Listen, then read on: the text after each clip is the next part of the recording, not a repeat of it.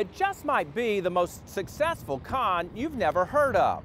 You pull into a gas station or a grocery store and you're suddenly approached by a sales pitch you just can't turn down. Its victims call it the white van speaker scam. So what what kind is it? Vanderbach. Vanderbach. How, how much is it worth normally? 2500 2500 and Hell how- yeah. An exotic sounding name, the thrill of the deal with the feel of taking candy from a baby. And how much would you take for it? I want 700 700. How about if I give you 250? Oh, you can do better than that. Well, this is something uh, I did not know was going to haunt me decades later, but uh, that's okay. It happened to my buddy David more than 25 years ago, but he remembers it like it was yesterday. And the guy in the van next to me says something along the lines of, Hey, we sell speakers. We got to get rid of what we have left in here.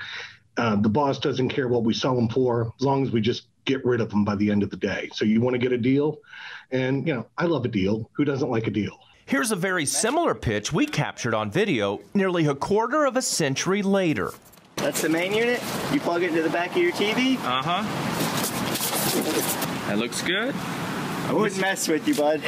Before I know it, I'm just kind of in this moment of, we got to hurry up and do this. Just 700 bucks for a $2,500 product, and the salesman has the paper that seems to prove it. That's the company I work for, JM Sound, out of Uh-huh. Norcross. Uh huh. I mean, we do work all over. We're in uh, Tennessee today. We're on our way back to the distribution center. And we, you know, we, if you want these speakers, we need to get over to the ATM, knock this thing out because we got to go. What David and literally thousands of innocent victims aren't told is those speakers commonly sell for much less. If you had told me that morning that I would do something like that, I would tell you you were insane, and that was not even remotely possible. But I just, I just got caught up in this moment. That's right. My normally very savvy friend David took the bait. I think it was 200 bucks for these speakers. And they had some name that sure looked like a very popular name, but I think was off by a letter or two.